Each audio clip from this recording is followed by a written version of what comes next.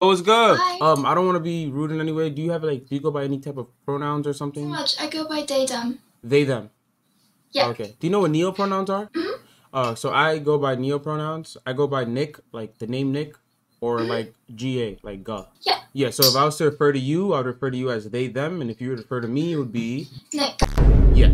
So a, lo- a lot of people, a lot of people actually forget my pronouns. So I have this exercise that I do. We, we basically repeat our pronouns. So uh, for you, I go they, them, they, them, they, them, and then you, for me, you'd go.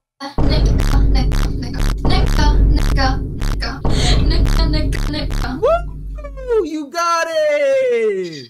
Can you say my pronouns and say in Paris? Ah yeah. Yeah. So like my my pronouns in Paris, like that. Okay. So Nick in Paris. Yeah. Oh, I appreciate it.